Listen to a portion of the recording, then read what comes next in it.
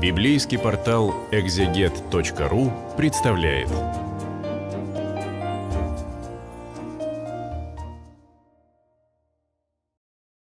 Девятнадцатая глава второй книги царей или царств для библейского портала «Экзегет». Она продолжает рассказ о победе, которая принесла скорбь. Победе в гражданской войне над Авшаломом, в ходе которой Авшалом, сын царя Давида, был убит, и Давид совершенно не радуется тому, что восстание разгромлено, тому, что он теперь снова царь. Как вернуться после победы домой? 19, да и следующая 20 глава ровно об этом и рассказывает. Это оказывается не так просто, потому что победа не возвращает то положение дел, которое было до войны, она не воскрешает мертвых. И вот Давид скорбит о своем сыне. А что же его войско, которое победило, которое сражалось за него, и оно теперь чувствует себя каким-то опозоренным, преданным, брошенным? Царь не радуется, не приветствует. Возвестили и Иоаву, что царь скорбит и рыдает об Авшаломе. Иоав — полководец Давида. В тот день победа обернулась всенародной скорбью, и пересказывал тот день народ, как царь скорбит о смерти сына. Народ возвращался в город украдкой, как возвращается украдкой народ после постыдного бегства с поля боя. А царь, закрыв лицо, кричал во весь голос «Сын мой, Авшалом, Авшалом, сын мой, сын мой». Вот я думаю, а кто после гражданской войны в России так рыдал о погибших других, не о своих, а других? Кто вообще во время каких-либо смут, разногласий рыдает о людях, погибших с другой стороны? До сих пор большая редкость. Тогда Иоаф вошел в помещение к царю и сказал, «Ты опозорил сегодня своих верных слуг, которые спасли сегодня жизнь тебе, твоим сыновьям и дочерям, и женам, и наложницам. Ты верно любишь отвергающих тебя, отвергаешь любящих. Ты показал сегодня, что и вожди, и слуги для тебя — ничто. Я знаю, если бы все мы были мертвы, а Авшалом жив, ты бы был доволен. Так встань же, выйди и поговори любезно со слугами своими, ибо Господом клянусь, если не выйдешь, всю же ночь не останется у тебя ни одного человека, и будет эта беда страшнее всех бед, которые выпадали тебе от юности твоей и доселе. Царь тогда поднялся и сел в воротах, и всему народу возвестили, что царь сидит в воротах, и люди стали подходить к царю.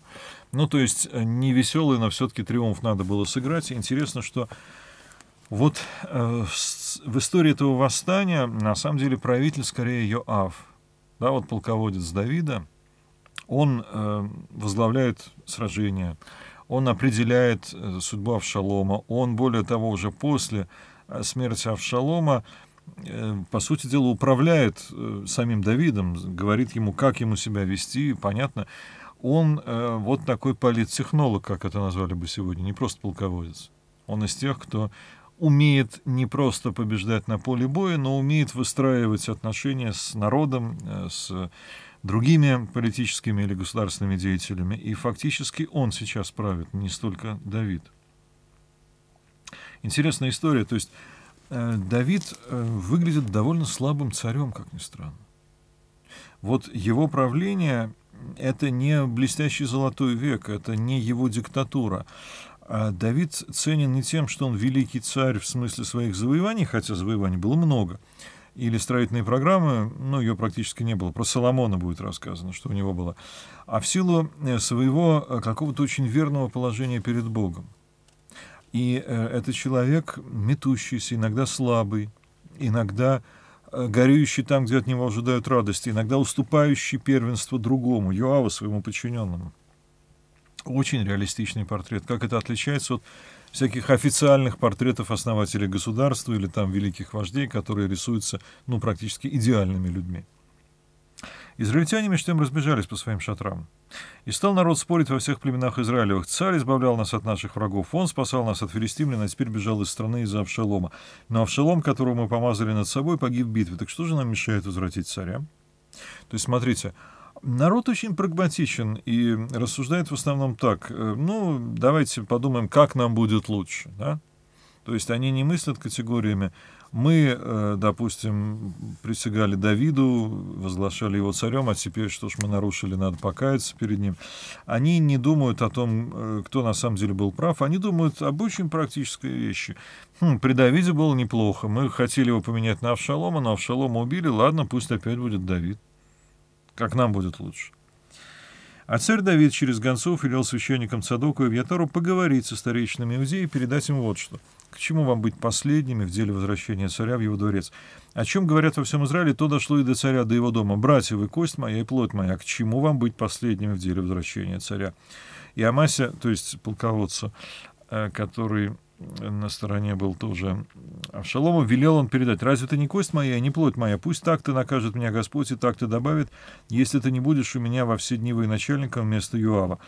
Юава он не любит, да, после того, как он понял, что Юав отвечает за смерть его сына Авшалома. И что делает здесь Давид? А вот дипломатия, да, очень важно не только выиграть бой, но выиграть мир – и э, сейчас такой тонкий момент. Авшалома нет, его войско разбежалось, но э, примут ли израильтяне Давида обратно как царя? Он обращается к его соплеменникам, своим соплеменникам Иудеям и говорит, давайте-ка вот с вас мы и начнем. Вы, в конце концов, э, мое родное колено или племя. Так он склонил на свою сторону всех иудеев, как одного человека, они отправили к царю гонца со словами «Возвращайся вместе со своими слугами». Царь выступил в обратный путь к Иордану, а иудеи пришли в Гилгал навстречу царю, чтобы перевести его через Иордан. Да, вот он в За-Иордане, в далекой местности, но э, торжественно возвращается в Иерусалим. А тут вот еще э, разные люди, которые провожали Давида, когда он бежал из Иерусалима, и так по-разному к нему отнеслись. Шими Сенгера, вениамитянин из Бахурима, отправился вместе с иудеями встречать царя Давида, а с ним тысячи человек вениамитян, да, другое племя и колено. И Цива, слуга Саулова дома со своими пятнадцатью сыновьями и двадцатью рабами, они устремились к Иордану, туда, где был царь, и сами пришли на ту сторону, чтобы помочь переправить через Иордан царский дом и так угодить ему. А Шимия, напомню, тот, кто злословил Давида, проклинал его. Едва Шемис Гера перешел Иордан, он пал пред царем. Он просил царя, не ставь мне вину, мой господин, и не припоминай того, как порочно поступил раб твой в тот день, когда господин мой царь вышел из Иерусалима. Да не примет того царь к сердцу, я твой раб, сознаю, что согрешил. И вот сегодня я первым пришел из всего дома Иосифа встретить господина моего царя. Да? То есть Иосиф дом — это другие э, племена Израиля, Ефрема Моносии, вот он бежит, как часто это бывает, когда правитель в опасности, когда правитель, э, как думает человек, уже не вернется на свое место, он вы, прям всю правду матку режет. А тут он вернулся и, наоборот, э, как можно ласковее, как можно э, более заискивающим голосом он говорит, да я всегда был за тебя, прости, я тогда какую-то ерунду говорил. Авишай, сын Церуи, ответил, разве Шими напротив не ждет смерть за то, что он проклинал помазанника Господнего? Но Давид сказал, что вам и мне до того, сына Царуи, что вы сегодня мне перечите? Разве такой нынче день, чтобы казнить кого-то в Израиле, когда я увидел, что я царь над Израилем? А Шими царь сказал, тебя не казнят, и царь ему в том поклялся. Вот э, величие царя в умении прощать, в умении не добивать тех, кто сдается. На самом деле редкое умение на Древнем Ближнем Востоке и сегодня. Вышел встречать царя Мефивошет, сын Саула, но напомню, что он воспринимался как возможный претендент на престол, и царь ему когда-то поклялся, что не будет его преследовать, да, и э, здесь сейчас тоже, казалось бы, он может воспользоваться этим моментом, тем более, что Цива, раб Мефивошета, ну, раб это так, слово немножко неподходящее, скажем так, тот, кто за него ведет его хозяйство, он как раз сказал, да Мефивошет рад тому, что Давида больше нет в Иерусалиме. Не омывал он ног, не расчесывал бороды не применял одежды с того дня, как царь покинул Иерусалим, то есть признак скорби, и до его благополучного возвращения. Когда он вышел из Иерусалима навстречу ему, то царь спросил его, «Отчего ты не отправился со мной, Мефиошет?» Он сказал, «Господин мой царь, это раб мой обманул меня. Я хотел оседлать осла и так отправиться с господином моим царем, ведь твой раб хромоног. Но мой раб оклеветал меня пред господином моим царем» имея в виду Циву, который сказал, что Мефиошет против Давида. «Но, господин мой царь, как ангел Божий, поступай, как тебе угодно. Весь род отца моего был повинен смерти пред господином моим царем, но ты посадил своего раба на трапезу за свой стол. Чего еще требовать мне, о чем взывать к царю?» Царь ответил ему, «К чему тебе продолжать речи? Я верю, чтобы ты и Цив разделили поля, то есть э, имущество, которое сначала э, царь отдал э, Мефивошету, оно раньше принадлежало Саулу, а потом Циве, когда узнал, что Мефивошет против него. Мефивошет сказал царю, да пусть он возьмет себе всю, раз господин мой царь благополучно вернулся домой. Пришел из Раглема Геладского и Барзилай, чтобы перейти с царем Иордана и проводить его. Напомню, что Барзилай э, снабжал Давида продовольствием. Барзилай был весьма стар, 80 лет. Он снабжал царя припасами, пока тот оставался в Маханаеме, потому что был очень богат. Царь пригласил Барзилая. «Ступай со мной, это я буду снабжать себя в Иерусалиме». Но Барзилай отвечал царю, «Сколько лет мне еще осталось жить, чтобы отправиться с царем в Иерусалим? Мне теперь 80 лет. Отличу ли я доброе от худого, если стану пробовать на вкус пищу и питье, если стану слушать певцов и певиц? К чему слуге твоему отягощать господина моего царя? Еще немного пройдет твой слуга с царем за Иордан, но к чему царю наделять меня такой наградой? Позволь слуге твоему вернуться в свой город и там умереть подле могилы отца и матери. Ну вот, слуга твой Кимхам, очевидно, это его сын, Пусть он отправится далее с царем и поступай к ним, с ним как сочтешь правильнее. Царь ответил, пусть Кимхам отправится со мной, я поступлю с ним, как сочтешь правильным ты, и все, чего не пожелаешь от меня, я сделаю тебе. Весь народ перешел через Иордан, а также сам царь. Царь поцеловал Барзилая и благословил его, тот вернулся к себе. Царь отправился в Гилгал, и Кимхам пошел с ним. Все иудеи были с царем на переправе, и половина израильтян. К чему эти подробные истории про то, как Давида встречают разные люди? Все, победа уже есть, он возвращается в Иерусалим. Какая разница, что там Барзилай, где он останется, казнили ли Шеми? Все-таки это история про царя. Книга царей не случайное название, а не просто история про разных, знаете, персонажей, которые там э, что-то делали таким или другим образом. И э, крайне важно, крайне важно для повествователя показать, что царь Давид э, бывает разным, и э, как он умеет быть благодарным к своим сторонникам, как он умеет быть милостивым к врагам, которые сдаются, как он умеет, э, тем не менее, не навязывать свою волю, а прислушиваться. Вот он дает Барзилаю почетную роль жить при царском дворце. Тот отказывается, и царь не сердится, он, наоборот, с пониманием относится к этому отказу.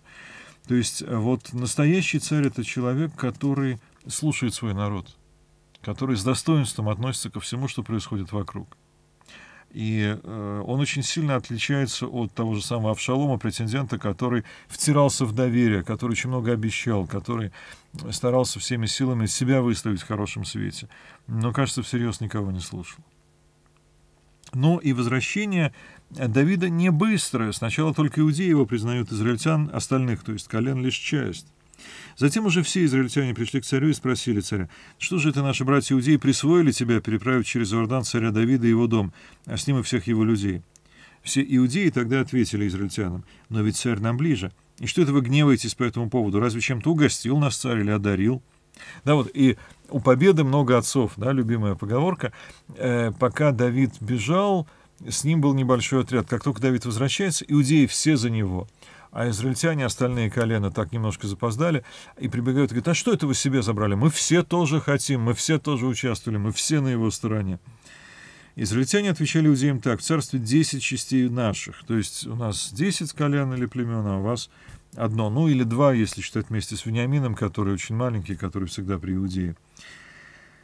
Десять частей наших, так что и Давид более наш, чем ваш. Что же вы унизили нас? Разве не мы первыми заговорили о возвращении царя? Но речи иудеев взяли тогда верх над речами израильтян.